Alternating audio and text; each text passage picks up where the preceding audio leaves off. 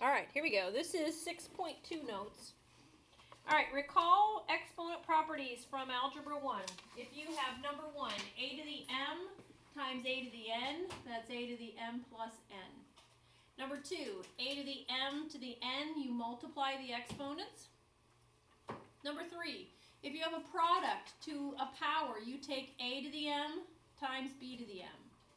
Number four, if you have a fraction to a power, you take the numerator to the power and the denominator to the power. Number five, a to the m over a to the n is a to the m minus n. Number six, this is your negative exponent property, and we reviewed it in the warm-up today. a to the negative n equals 1 over a to the n. The seventh one I forgot to put on your notes is the zero property. a to the zero equals 1. All right, so number one, x to the 1 half times x to the 1 third. Which of these seven do I need to use? The first one, right? So this is going to be x to the 1 half plus 1 third.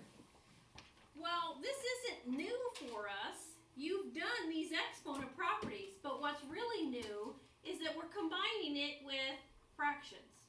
That's the only thing. And yeah, we know how to add one half plus one third. We don't like it, but we have to get a common denominator. So I'm going to multiply the first fraction by 3 over 3 and the second fraction by 2 over 2. So this is 3 6 plus 2 6, which is x to the 5 6 power. It's not pretty, but that's the answer. It really represents the sixth root of x being raised to the fifth power. Okay? All right, number two. I have x to the one-third times x. Now, there's no exponent on that second x, but what is it understood to be? 1. So, I'm going to take one-third plus 1. Well, I need to get a common denominator, and that's actually kind of easy on this one, because 1 with a denominator of 3 would be 3 over 3. So that's x to the 4 thirds. All right, number three. I want, I'm going to give you a head start on this one. It's the same as 1 and 2, but I'm going to see if you can get common denominators on your own now.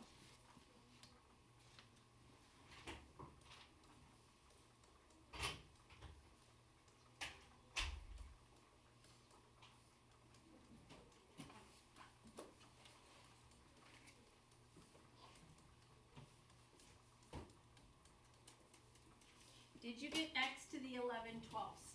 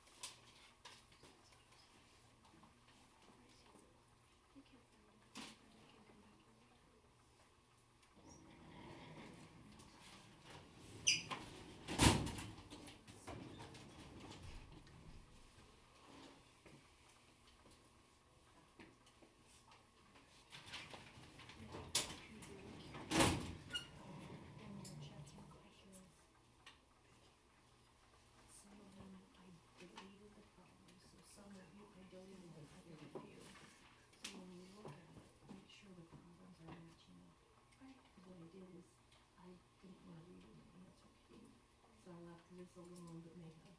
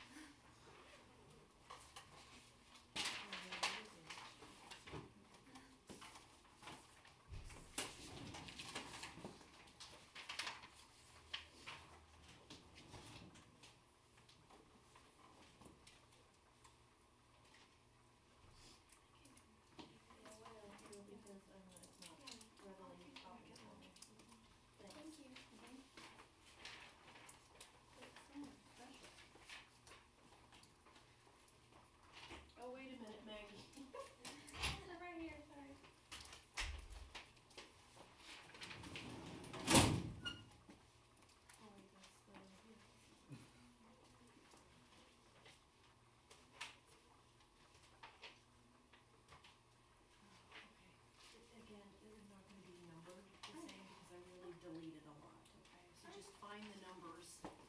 It might be a little bit more work for you. Mm -hmm. Okay, all right.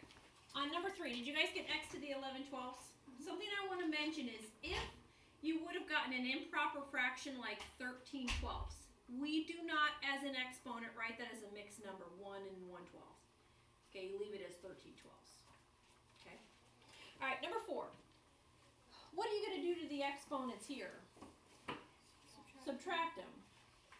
So you would get x to the 1 half minus 3 halves, which is x to the negative 2 halves. But that's negative 1. Now, we never leave a negative exponent, so it's 1 over x. Alright, try 5 and 6 now on your own.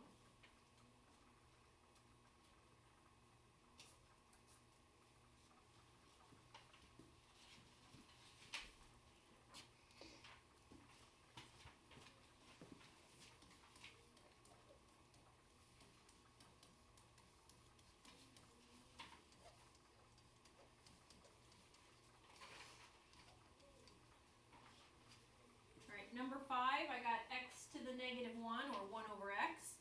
And in 6, you have to build a common denominator with a whole number, 3. So that's 6 over 2 minus 3 over 2, which is just x to the 3 over 2. Alright, any questions on that? So, you're really not doing anything new. We're just combining our Algebra 1 exponent properties with fractions now, okay? And that should make sense based on our warm-up today. Remember when we did 8 to the 1 3rd power? So we're taking our fractional exponents and we're extending them. All right, product property for radicals says I have the square root of a times the square root of b. That's equal to the square root of a times b. Now this property works left to right or right to left. If I have the square root of a times b, I can break it apart as square root a times square root b. The quotient property. If I have the square root of a divided by square root b, that can be written as the square root of a over b. But again, I can work it right to left as well as left to right. Then, if you look at example 7, I have the square root of x to the fourth, and we're going to look at this one of two ways. And I put this little example here I ha- if I root of 36, we know that's 6 because 6 times 6 is 36. So if I want the square root of x to the fourth, what times itself is x to the fourth? It's x squared, okay? And, and that is the answer. But I want to go a different avenue to show you because this is going to end up helping us. Do you remember that a square root is to the 1 half power, right? So this is can be rewritten as x to the fourth to the 1 half. And then my exponent property number 2 says if you have a power to a power, you multiply them, and it's x squared. Okay?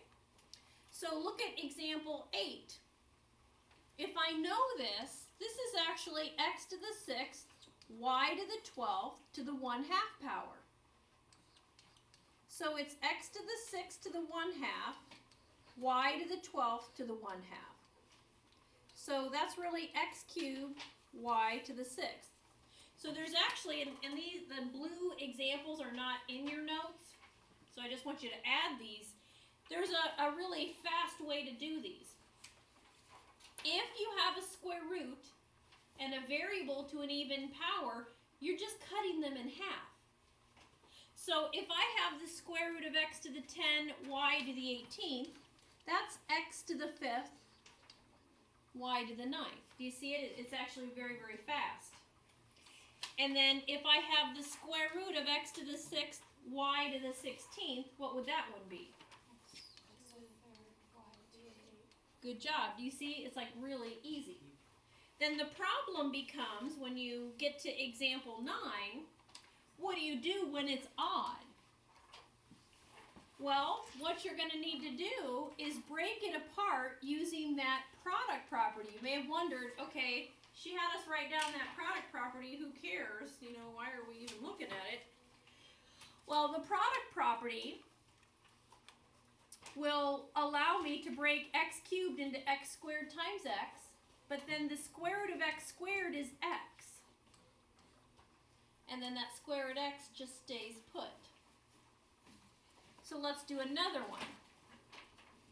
If I have the square root of x to the fifth y to the tenth, I need to break that apart into the square root of x to the fourth times the square root x, but y to the tenth is an even exponent, so I'm going to leave it with my x to the fourth.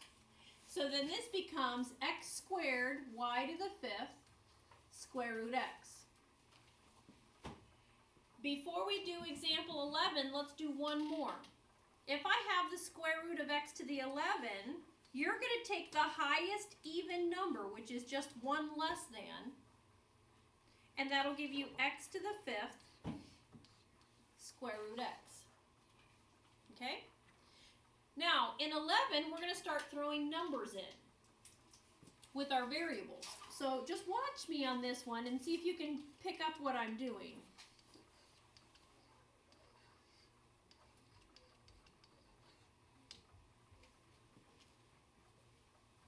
I the square root of 4x to the 6th, y to the 10th, times the square root of 2xy.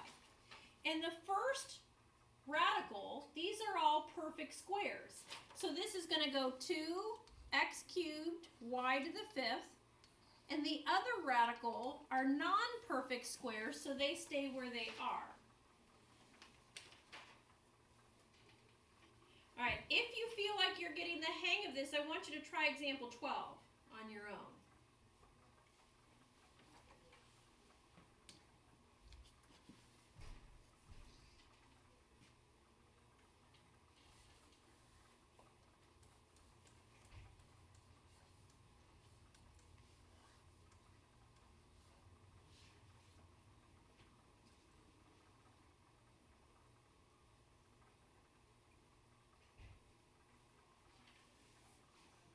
All right, I broke it apart as the square root of 4 x to the fourth y to the eighth times the square root of 6y. So it was 2x squared y to the fourth square root 6y. Okay? All right. Um, the good news is tomorrow we're going to spend an extra day on 6.1 and 6.2. We'll do another worksheet and we'll do a lot of work in class. Okay? Um, and then Monday we're going to start 6.3 and we're actually going to spend three days on that section, okay, and go nice and slowly. So we'll be partway through it uh, before exams. All right, number 13, 5 over square root 2. Um, in math, you cannot leave a radical in the denominator. It's considered unsimplified. So example 13, this is one you did in Algebra 1 and in geometry you just multiply by square root 2 over square root 2. Because square root 2 times square root 2 is square root 4, which is the number 2. Now, number 14, this is algebra 2. You haven't seen this one before. If I have 1 over the cube root of 2, do not write down what I'm going to do next because I'm going to erase it because it's wrong. But suppose I multiplied by the cube root of 2, okay? Again, don't write this down. I'll tell you when to do it. This would leave me with the cube root of 4. Well, the cube root of 4 isn't 2. So it would be a good try, but it doesn't work. So I'm going to erase this because that was wrong. Now, can you think of something I could multiply the cube root of 2 by that would give me a perfect cube? Noah? Good job. All right, now you can write this down. If I multiply by the cube root of 4, you're going to get the cube root of 4 over the cube root of 8. And what Noah recognized was that the cube root of 8 is a 2. Okay? So this is going to require a little thinking outside the box. It's not as, as quick as square roots. So let's look at number 15. If I have 3 over the cube root of 5, you're trying to think of what could I multiply by that's going to give me a perfect cube. Jason? 25. Good job, yeah. So you get the cube root of 25 because that's going to give me 3 cube root 25 over the cube root of 125.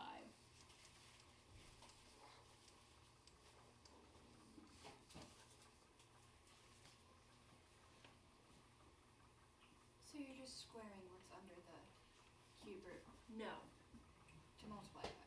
no, not necessarily. You're on the right track, is that if this is five to the first, you could multiply by five squared, that will work. But look in this one, I don't need to multiply by sixteen, that would actually be too big. What would I wanna multiply the cube root of four by? Two. two. Do you see that? So I didn't want to mislead you. You're trying to make what's underneath there the smallest number that's a perfect cube. So then this is cube root 2 over the cube root of 8 or cube root 2 over 2. For sixteen. I have a square root. Yeah. On our worksheets it. Oh, it's supposed to be a cube root. I'm sorry. If you could fix it.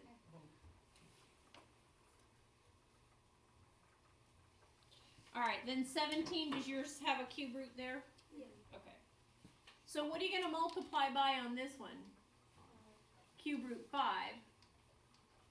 So I'm getting 5 cube root 5, and do you understand that the cube root of 125 is 5?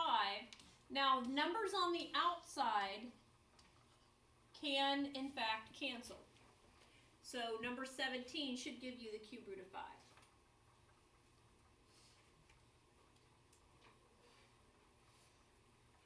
All right, number 18. 3 over the cube root of x squared. What would we need to multiply by? Cube root. of x.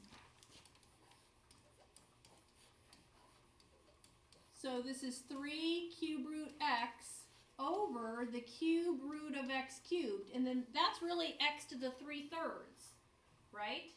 x to the 3 thirds is x to the first, which is what we wanted. Okay. All right, that finishes our notes. However, we're going to work on this handout. This the handout I'm passing out. This is not homework. Uh, we're going to end up working on this tomorrow as well. The first paper I gave you that said 6.2 worksheet, that was your homework, okay? All right, so what I want to do with this is to review some other things with you. Number one is the square root of 150. Simplifying a square root means you cannot have a perfect square factor underneath. Well, I happen to know that 25 times 6 is 150, so it's 5 radical 6. For those of you that liked the factor tree method, let me go over that with you as well. You just do 2 times 75. I know 75 is 3 times 25. 25 is 5 times 5. The 5s can come out, and then you're left with a 2 times 3. So you can still get the same thing. All right, number 2.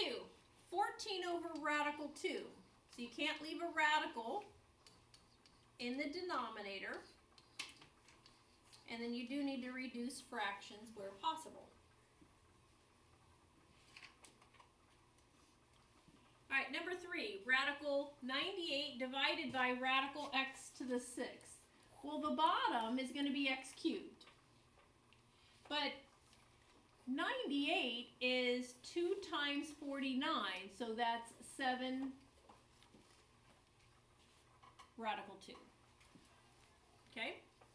Then number 4, I have 7 radical 5 minus radical 45. Well, I happen to know that 45 is 9 times 5, so that's 3 radical 5.